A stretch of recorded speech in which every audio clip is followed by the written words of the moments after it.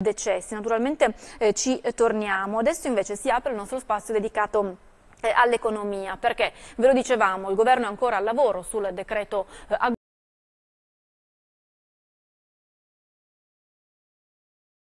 Dalle misure annunciate parliamo con mm, Daniele Baccarino, presidente di CNA, Confederazione Nazionale dell'Artigianato e della Piccola e Media Impresa. Ben trovato su Rai News 24. Giust dunque, Buongiorno. Tra le misure che potrebbero essere inserite in eh, questo decreto il bonus consumi, una misura che dovrebbe coinvolgere anche bar, ristoranti, spingere dunque eh, l'affluenza nei centri storici eh, delle città che sono svuotati da questo lockdown, per i quali si pensa ad un nuovo contributo a fondo perduto. Secondo voi potrebbe funzionare anche se la misura sembra abbracciare soltanto 5 mesi?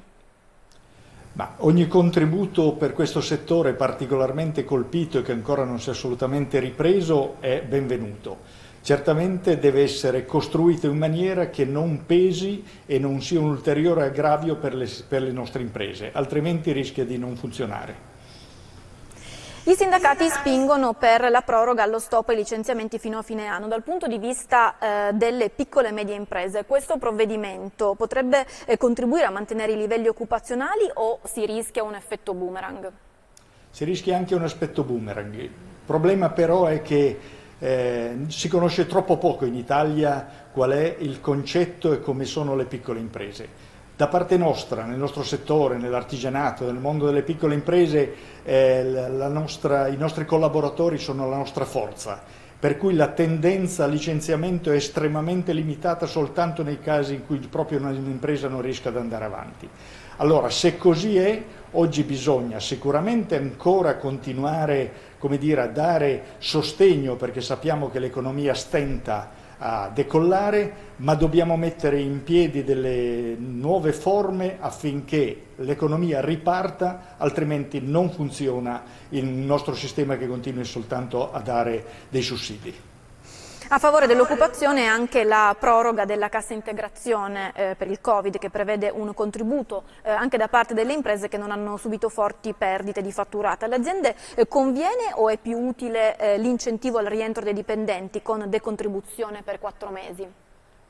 Ma l'incentivo al, al, rientro dei dipendenti e soprattutto direi io gli incentivi a nuove assunzioni sono fondamentali, però deve esserci un'economia che riprende, altrimenti questo non, non, può avvenire. Noi sosteniamo da tempo che eh, siano necessarie politiche più attive e non solo di sostegno al reddito, cosa peraltro necessaria che in questi periodi è stata assolutamente utile e indispensabile, ma oggi bisogna cambiare passo, altrimenti il rischio di continuare a non far ripartire questa economia.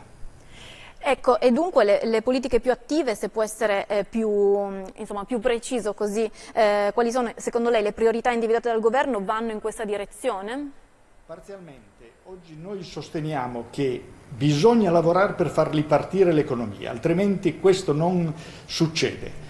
Eh, faccio un esempio molto semplice, se fossimo in una foresta dobbiamo passare dalla liana dove ci tenevamo per appunto tenere in piedi l'occupazione ad un'altra che è quello del sostegno a chi fa ripartire l'economia.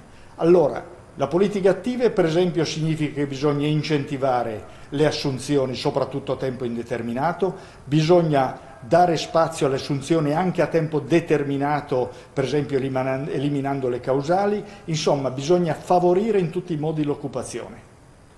Grazie a Daniele Vaccarino, Presidente di CNA, per essere stato con noi. Grazie a voi. Continu